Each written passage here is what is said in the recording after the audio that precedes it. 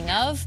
So we're considering the Broncos. Um, we're looking at the Texans Mm-hmm. in the seven spot. They're in today. Oh yeah, They're baby. in today. They boot the Bengals. The Bills are on the right-hand side of your screen. The Raiders are five and five, as are the Colts. But let's look at that beautiful little Texans logo at the bottom of the screen. Okay. Right there in the middle, you stare at it. We have been over the last couple of years because it's been a, it's been a tough ride for the Texans. Not so much anymore, considering the last couple weeks and how things are gone. Great win against the Bengals last week in Cincinnati. Peter, are you prepared to sit here now and consider them an AFC contender? I am, with obvious hesitation due to their youth and due to the fact it's a first-year coach and all that. But I, I think there's a little secret sauce to them that not everyone sees and knows, and it's that they're not just rookie quarterback, rookie wide receiver Tank Dell, second-year guy Nico Collins. They've got veterans in that locker room and a lot of veteran players who have played in big games. Like Shaq Mason has played in 14 different playoff games. Jerry Hughes has been in the league forever. Jimmy Ward's been on all those Niners teams. Singletary's done the runs with the Bills. Mm-hmm. Robert Woods is on this team. Sheldon Rankins is on this team. These are veteran players. We didn't even talk about guys like Shaq Griffin and Tunsil. They have so many veteran players at all the key position groups that lead those different position groups. So, yes, first year coach, first year quarterback, first year wide receiver, first year defensive end, and Will Anderson. I get it, and that's all very new. But, like, I don't think a game is too big for Shaq Mason. He's played in huge games. I don't think a game is too big mm-hmm. for Robert Woods. He's been on multiple playoff rides. And those are the guys who are leading those position groups. So, if you can give that knowledge and you can pass that down a little bit, that's great. Do you know who CJ Stroud's backup quarterback is? Yes, Davis Mills there. Do you know who the other one is? Mm. Case Keenum. Hmm. So Return to it's, Houston. Case Keenum's there. So it's not like we're dealing with just, all right, Stroud, it's you and a bunch of no-name guys who've never been through. Case Keenum started in an NFC championship game. So I like the fact that there are veterans in this. Do I consider them contenders? They're one of the top seven teams in the AFC. Sure, anyone can make a run. Do I think they're this young, neophyte, wide-eyed team that's like, oh my gosh, a big spotlight?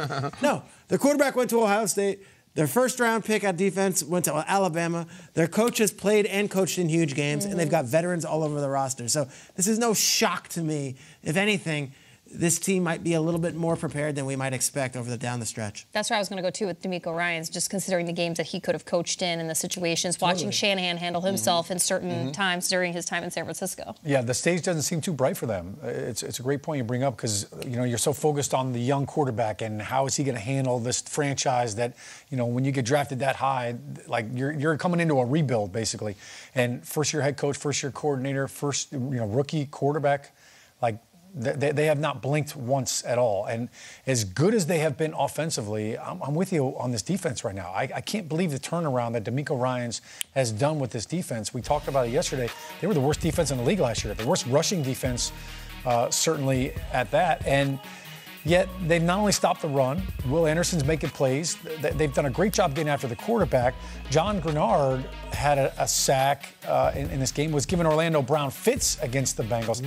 I think when you kind of look at that game too, like it came down to the wire that game, but like for the majority part of that game, they were dominated.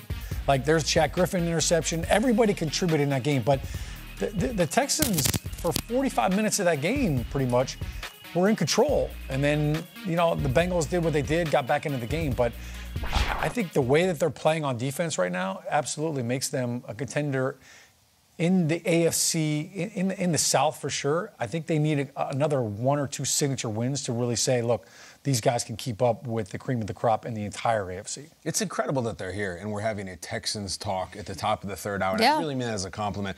I think so much credit goes to your boy Caserio, too. Like the way they have done. Take a look at the 2021 Texans. This is just two years ago. And look at how they have completely changed their organization. Their head coach was David Culley, who was let go and has not coached since then. Davis Mills was their, their quarterback.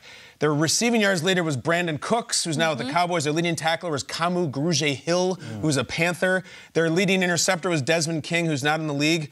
I will walk off the set if any of you can tell me just two years ago who was the Houston Texans' leading rusher.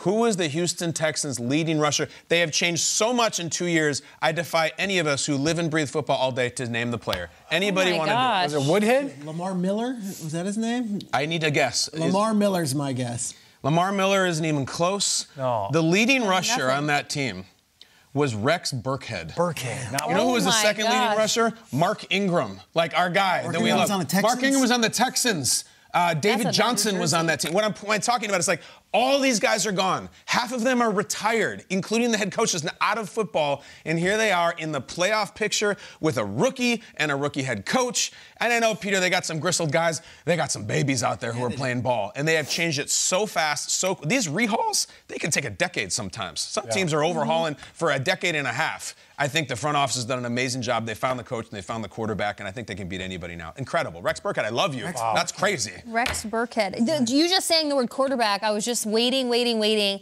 We went all the way around that table just now, and I think that's a testament to how the Texans are playing in big games. Is we talked about all these other facets of their team before we even got to C.J. Stroud, and he's been such a huge Yeah. part of this. It's we're week 10, and we have seen very little to no panic from this rookie quarterback who everyone had painted on the wall through his draft process and everything that was said about him and the cognitive S2 test and how he can't, you know, he can't perform in these big games. Look at what Watch out for an- those Ohio State quarterbacks. another. Ohio State quarterback, exactly. And he has lived up to, Yeah. exceeded, and then set a new standard for what a rookie quarterback is supposed to do when they arrive in this league. Personally, I think it also has a lot to do with just the simpatico that we are seeing between Bobby Slowik and DeMeco Ryans and CJ Stroud. It's it seems like a match made in heaven, and sometimes it just doesn't work out that way when you draft a young guy like this. But hats off to CJ Stroud as well for his development, his wherewithal within the pocket, and his decision making, his maturity, his prowess. It's like shocking for a rookie quarterback. I'd like to see some simpatico in Carolina with Bryce Young. That's Right? rough.